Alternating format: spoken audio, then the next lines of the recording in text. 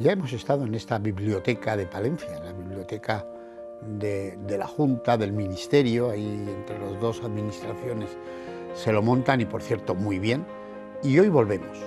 volvemos a este espacio del mundo de los libros para seguir hablándoles, ya lo hemos hecho en una ocasión, del canal de Castilla.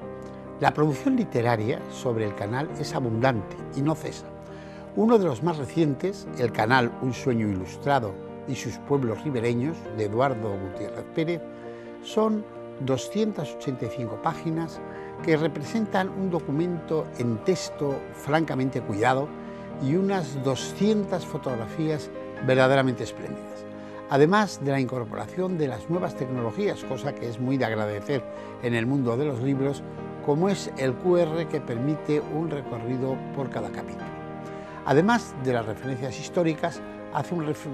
recorrido por 17 capítulos y así por el ramal de Nortes habla de Alar del Rey como la ruta trucada, de Herrera, donde fluye con la historia, en Osorno, donde fluye el peregrinaje, en Fromista, como el cauce de los caminos, o habla del ramal de Campos, en Rivas de Campos, el corazón del canal, de Villaumbrales y su museo, de Becerril con aguas culturales, de paredes donde mienta el asentamiento importante, diríamos, como faro del agua, en la barca como aguas retenidas, o el ramal sur que nos acerca a Grijota, donde el canal se parte en dos, en Palencia, de la que él habla del señorío canalero, o de Villamuriel, que es testigo de su paso hacia Dueñas,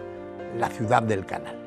El libro se detiene y describe solo las localidades de la provincia de Palencia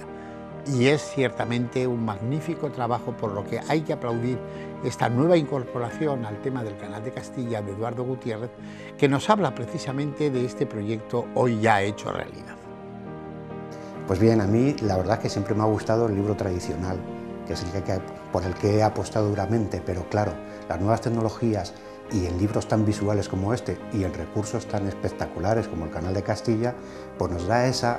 grandísima posibilidad de ver desde un punto diferente las espectaculares imágenes que nos oferta y que nos ofrece este recurso tan importante del corazón de Palencia, de la tierra de campo sobre todo. ¿no? Entonces, vistas gracias al QR que lleva cada uno de los capítulos, ver esas panorámicas, esas eh, excelentes exclusias, su sillería, la cantidad de recursos hidráulicos que eh, lógicamente permanecen vivos, que dan viveza, que dan verdor, que dan frescor y que sobre todo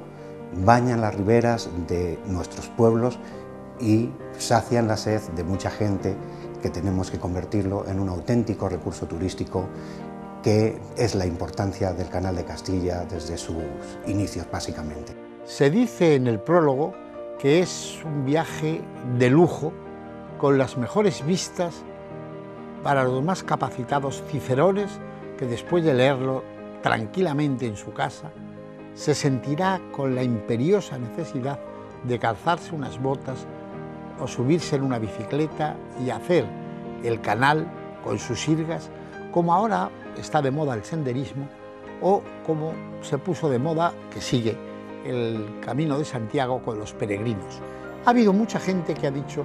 que el gran problema del canal en cuanto a su promoción ha sido que no se ha descubierto todavía la manera, la forma de hacer el canal al ritmo de que se están haciendo los peregrinos en el Camino de Santiago. Por esas sirgas vemos correr el agua del canal, sobre el que, por cierto, se publica en este libro un poema de Javier Castrillo, que recoge en su libro y que dice, al lado del agua siempre está el hombre, agua somos al fin en gran medida, sin el agua es inútil buscar vida, que el agua es la vida y su nombre. Del agua provenían los ancestros y ya nunca del agua se alejaron. El agua es un seguro y a su amparo sigue creciendo la estirpe de los nuestros. Agua que todo trae y todo lleva, que mueve el mundo al ritmo de la luna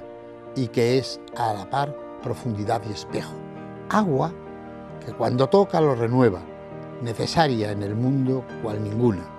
En ti, sobre el canal, va mi reflejo.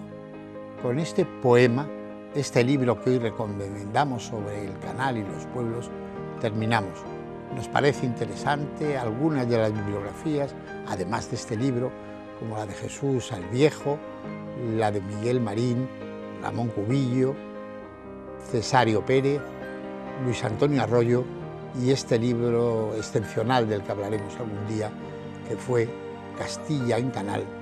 de Raúl Guerra Garrido.